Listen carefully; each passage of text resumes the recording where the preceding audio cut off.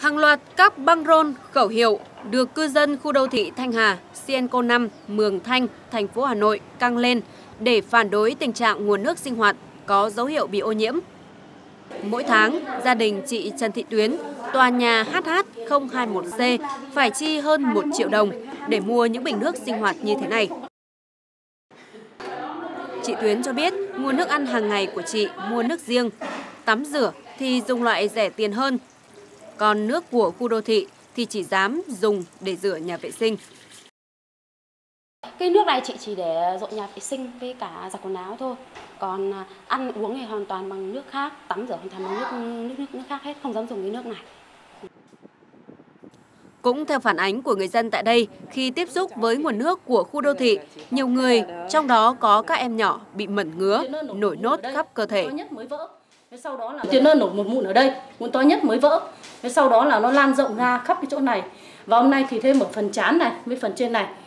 Mà nó rất là nhanh, cái tình trạng này nhanh. Nếu như mà mình bôi thuốc, bác sĩ cho tôi thuốc thì tôi bôi.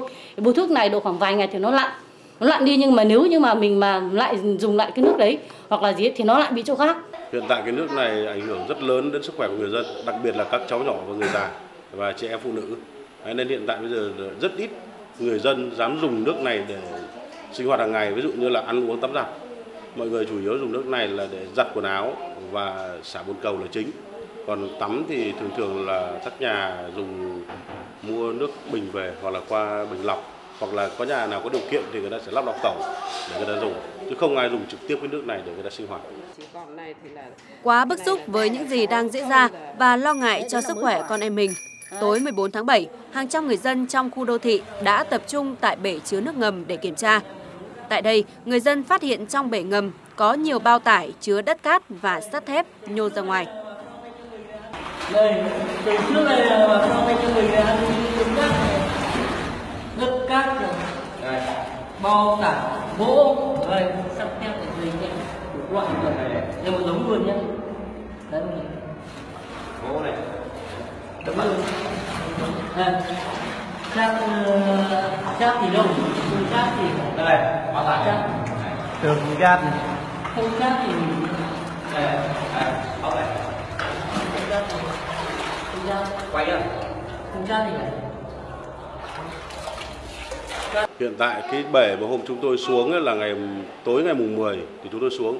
Thì bể nước uh, ăn của chúng tôi ấy, thì rác xây dựng nó rất nhiều nó gồm cốt pha chưa tháo hết và các cái bạt cốt pha khi mà người ta đổ bê tông người ta không tháo rỡ và trong đấy là còn rất nhiều các đầu thép và các cuộn thép và rác thải xây dựng, gồm xi măng, hồ, vựa, người ta vứt ra đấy rất là nhiều.